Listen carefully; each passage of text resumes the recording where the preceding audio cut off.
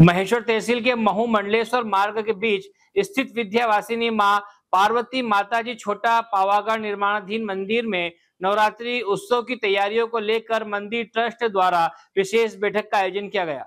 बैठक में मंदिर में आए दान स्वरूप नकदी व सामान का हिसाब किया, जो अब तक दो करोड़ अस्सी लाख रुपए का खर्च हुआ एवं नवरात्रि उत्सव को भव्य स्वरूप देने और व्यवस्थाओं के लिए समितियों का गठन करने संबंधी चर्चा की गई। पदाधिकारियों ने निमाड़ मालवा के भक्तों की सेवा समितियों का गठन किया, जिसमें मंदिर की आकर्षक साज सज्जा लाइटिंग, साउंड सिस्टम की व्यवस्था, हवन समिति, स्वल्पाहार पार्किंग पेयजल टेंट सहित मेला समिति, चुनरी यात्राओं की व्यवस्था आदि समितियों का गठन कर प्रभार सौंपा गया बैठक में मंदिर समिति सहित मालवा निमाड़ के कार्यकर्ता मौजूद थे। महेश्वर से दिलीप यादव की रिपोर्ट।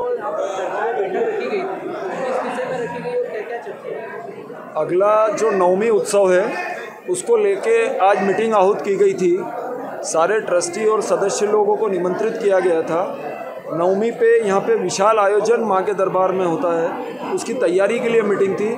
सारे सदस्य आए और तैयारी के लिए सबने भरपूर सहयोग दिया। मुख्य चर्चा कार्य का विभाजन था। सदस्यों के बीच यहाँ पे कार्य की बहुत बहुलता रहती है। कार्य के विभाजन करना बहुत ज़रूरी होता है।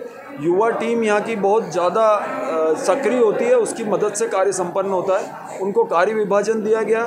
मंदिर में नौ दिन भंडारा चलता है। साबुदाने की खिचड़ी चाय आदि का वितरण होता है। यहाँ पे चुंदरी यात्राएँ आती है। व्यवस्थाओं को बहुत अंजाम देना होता है। उसके लिए सारे सदस्यों ने प्रण लेकर ये तय किया है कि मंदिर के कार्यक्रम को हर वर्ष की तरह बहुत ही उत्साह और उमंग के साथ पूरा करेंगे।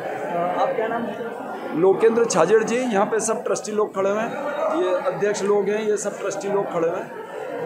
ईसाई के संबंध में जो वगैरह आती है उसके संबंध में आज हिसाब वगैरह हुआ था उसमें कितनी राशि अभी तक राशि करीब यहाँ दो करोड़ अस्सी लाख के आसपास आई और इतने पैसे मंदिर में लग गए। तो अभी तक मेन मेन क्या क्या काम हो चुके हैं मंदिर में? पूरा ही मंदिर बना है। पहले तो मंदिर जरा सा तो गुमज था पूरा मंदिर का ही निर्माण नया हुआ है।